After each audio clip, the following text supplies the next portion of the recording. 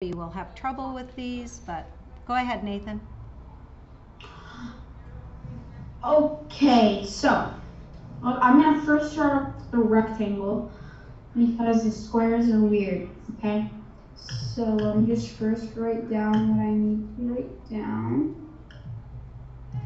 Oh gosh, there's no room to write anything. I don't know equals Okay, um, mm, area, length times width, and then that would be four times twelve, which equals no four meters. Four meters times twelve meters, which that equals twelve, twenty-four, fifty-two. No, twenty-four and twenty-four is forty-eight. Right. 48 meters squared. Okay.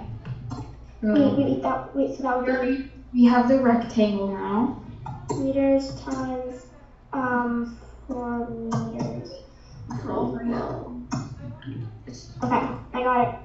Okay, now I'm gonna do the smaller triangle. So that would be five, or no, base. Okay, first we're gonna find the base. Uh, which does it give? Oh wait. Hmm. I don't think it gives the base.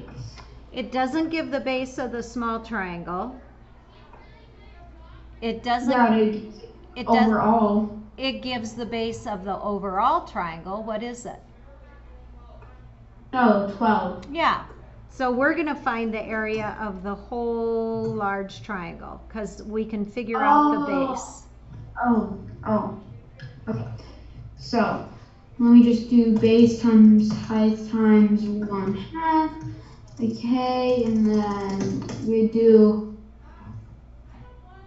12 times 5. 12 times 12 meters times 5 meters equals. Hold on, Nathan, Um, what's, what's five?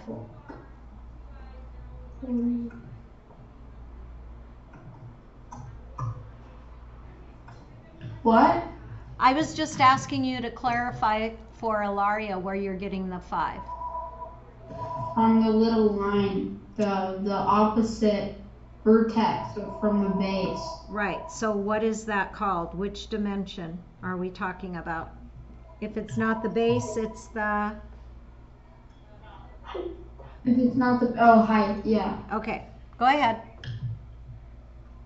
Well, anyways, that equals 60 meters squared, and then you have to take 60 meters squared times one half, and that equals 30 meters squared. Okay, so now we have to take 30 meters squared plus 48 meters squared. Wait, And that equals 78 meters squared. wait, why would we take, wait, hold on, why would we take sixty? Oh, half, duh. You have to take half. Okay, sixteen equals. And We done. And then can we try doing the other two on our own, Miss Porisch? Sure, So it goes quicker? Okay. yep, and I think, um, yeah, I think we're done. I think that can be your homework, cause we've only got one more minute left. So you guys can do numbers one and three on your own.